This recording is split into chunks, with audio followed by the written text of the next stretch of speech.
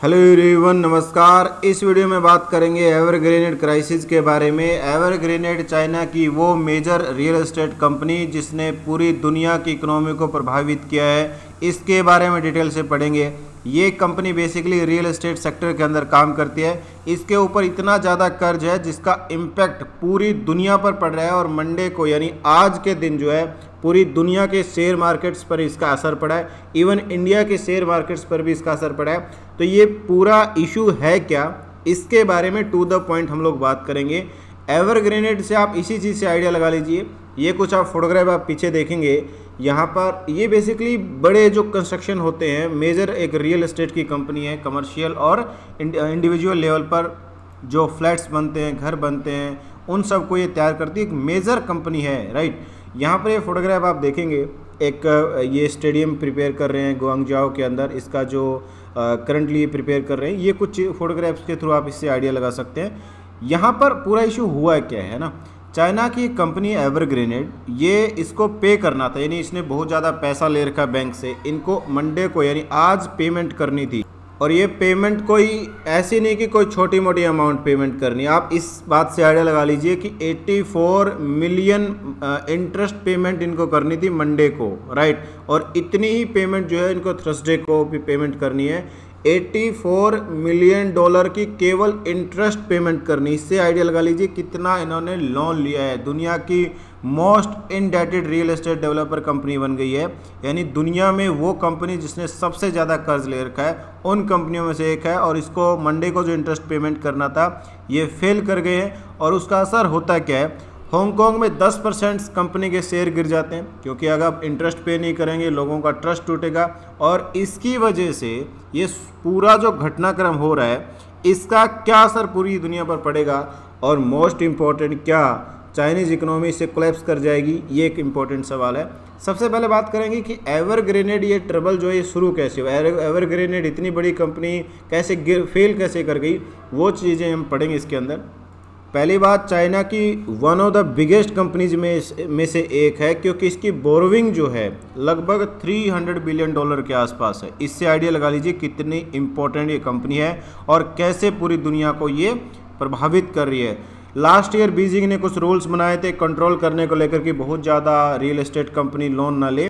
उसके बाद एवरग्रीन ने कुछ मेज़र लिए कि भाई इनकी प्रॉपर्टी सेल होती रहे, कुछ डिस्काउंट दिए ताकि उनके पास पैसा आता रहे बिज़नेस अफ्लोट को कंटिन्यू किया जा सके। लेकिन अब ये कंपनी फेस कर रही है कि इंटरेस्ट पेमेंट तक नहीं कर पा रही, जो इन्होंने लोन ले रखा है पूरी दुनिया सॉरी चाइनीज़ बैंक से खासकर, उनको पे नहीं कर पा रहे और इसकी वजह से आप देखेंगे, इसके शेयर के अंदर 85 परसेंट के अराउंड जो है टम्बल कर रहे हैं। डिस्टर्बेंस यानी उसमें इतनी गिरावट देखने को मिलती, इतनी लोअर लेवल पर आप इसको देखेंगे, न केवल गिरावट है, बल्कि ओवरऑल जितनी मेजर कंपनीज़ है, जो रेटिंग एजेंसीज है, वो भी इसकी रेटिंग को डाउनग्रेड इन्होंने किया है। अब अगर आप देखेंगे कि एवरग्रेनेड का जो कोलेप्स है, इसका क्या इम्पैक्ट होगा और कितना ज़्यादा ये प्रभावित कर सकती है, ये कुछ चीज़ें जिसके बारे में हमें पता होना चाहिए। सबसे पहले ये पता होना चाहिए कि एवरग्रेनेड का कोलेप्स जो है, ये क्यों हुआ? है ना? रीजन क्या है प्रॉब्लम ये कैसे शुरू हुई?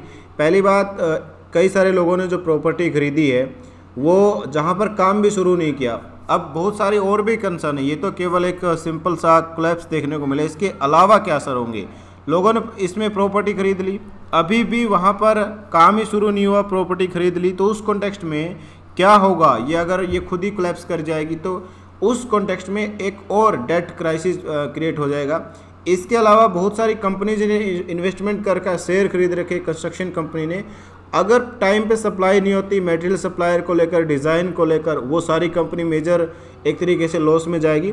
और उसका असर क्या होगा? ये कंपनी हो जाएँगी बैंक यानी दिवालिया की कगार पर चले जाएँगी। यानी बहुत सारी, ये कंपनी के थ्रू चाइना की बहुत सारी कंपनी जो है बैंक होने का डर रहता है कि और ओवरऑल इसका सबसे खराब असर पड़ेगा चाइना के फाइनेंशियल सिस्टम पर राइट हालाँकि चाइना के अगर आप बात करेंगे इसको लेकर इकोनॉमिक इंटेलिजेंस यूनिट्स ने बताया कि एवरग्रेनेड ने दुनिया भर के, यानी 171 डोमेस्टिक बैंक से और 121 फाइनेंशियल फर्म से जो लोन ले रखा है, इतना ज़्यादा इन्होंने लोन ले रखा है और इसका इम्पैक्ट डेफिनेटली चाइना पर, चाइना के इकोनॉमिक सिस्टम पर और क्योंकि अगर चाइना पर पड़ेगा तो पूरी दुनिया पर पड़ेगा क्योंकि चाइना वर्ल्ड की सेकेंड लार्जेस्ट इकोनॉमी है और ये पूरी दुनिया के लिए बिल्कुल भी अच्छी न्यूज़ नहीं है, खासकर चाइना के लिए बिल्कुल भी अच्छी न्यूज़ नहीं है। इनके अलावा कई और भी रिस्क रहते हैं। मान लेते हैं कि वहाँ पर एक इस तरीके से कंपनी कोलेप्स करती है तो आने वाले टाइम में क्योंकि किसी भी कंट्री, चाहे दुनिया की कितनी भी बड़ी कंट्री हो, उसके लिए फॉरेन इन्वेस्टमेंट का होना बहुत ज़रूरी है। फॉरेन इन्वेस्टमेंट को लेकर जो है वो कंसर्न है। और क्योंकि अट्रैक्टिव नहीं लगेगा वो प्लेस तो वहाँ पर हो सकता है कि आने वाले टाइम में जो फॉरेन इन्वेस्टमेंट के प्रस्पेक्टिव से उसकी रेटिंग जो है वो और कम हो जाए, है ना? ये कुछ डर होंगे। अगर आप देखेंगे, क्या एवरग्रेन इतना बड़ा है कि चाइना की इकोनॉमी फॉल कर जाएगी या फेल कर जाएगी या एक तरीके से कोलैप्स कर जाएगी, इसको लेकर डाउट हो सकते हैं। क्योंकि भले ही चाइना के अगर आप देखेंगे, इसका असर डेफिनेटली पड़ेगा इकोनॉमी पर और इनडेटेड कंपनी जो है वो कोलैप्स कर कोलैप्स कर रही है। हालाँकि इसको लेकर अलग अलग जो इकोनॉमिस्ट है वो अलग अलग परस्पेक्टिव से सोचते हैं कि डेफिनेटली ये रिस्क है, लेकिन इसको चाइनीज़ गवर्नमेंट कवर कर लेगी। कुछ लोग बोलते हैं कि चाइना ने जो अभी अपना जो सोशल मीडिया प्लेटफॉर्म है वी चैट उसके थ्रू बताया और कि गवर्नमेंट जो इसको लेकर बेल आउट को लेकर रिलाई नहीं करती और ये कंपनी को अपने आप सेव करना पड़ेगा। यानी गवर्नमेंट एक तरफ़ से एक तरीके से बोल सकते हैं, कोई बेल आउट नहीं दे रही इस चीज़ को। और ये बोला गया कि एवरग्रेनेड का क्राइसिस एवरग्रेनेड को ही सॉर्ट आउट करना पड़ेगा।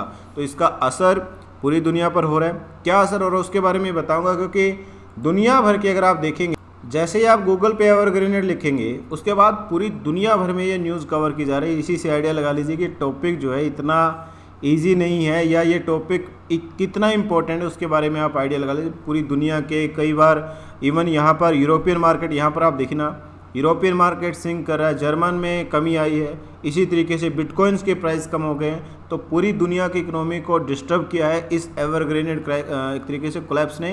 हालाँकि चाइना ये बोल रहा है चाइना की गवर्नमेंट ये बोल रही है कि हम लोग इस तरह के जो डेट हैं, इस तरह के या जो एवरग्रेनेड क्राइसिस उसको पे करने के लिए बेल आउट देने बेल आउट का मतलब क्या होता है कि उसको सेव करने के लिए जो पैसा दिया जाता है सरकार के द्वारा, वो सारी चीज़ें, ये कंपनी को ही सेव करना चाइना इसके लिए रिस्पॉन्सिबल नहीं होगा। अब एवरग्रेनेड बेसिकली करती क्या है कि ये है क्या कंपनी है ना? ये काम क्या करती है, वो हमें पता होना चाहिए। ये कंपनी एक बिजनेसमैन थे, हुई का यान, इन्होंने फाउंड करी थी। इनके नेम की प्रोनाउंसिएशन हो सकता है गलत हो बट ये आप लगा लीजिए, इन्होंने करी थी। आप नाम अपने अपने हिसाब से प्रोनाउंस कर लीजिए। 1996 में गुआंगजाओ जो सदर्न चाइना के अंदर है, वहाँ पर ये फाउंड करी गई थी। रियल एस्टेट कंपनी कितनी बड़ी है, इसी से आइडिया लगा लीजिए 1300 प्रोजेक्ट हैं इसके, और लगभग चाइना की 280 सिटीज़ चाइना के 280 शहरों के अंदर ये फैली हुई है। इनके अलावा अगर आप एवरग्रीन एवरग्रीन ग्रुप के इनकम, इनकम्पस को देखेंगे तो इसने रियल एस्टेट के अलावा अलग अलग ग्रुप्स के अंदर, जैसे वेल्थ मैनेजमेंट है, मेकिंग इलेक्ट्रिकल कार है, फ़ूड एंड ड्रिंक मैन्युफैक्चरिंग है, इन सब में भी इन्वेस्टमेंट किया है। और ये माना जाता है कि इसकी लगभग 10.6 बिलियन डॉलर के आसपास पर्सनल फॉर्चून है। ये कुछ चीज़ें इसमें मेंशन करी गई है इस पूरे एनालिसिस के अंदर।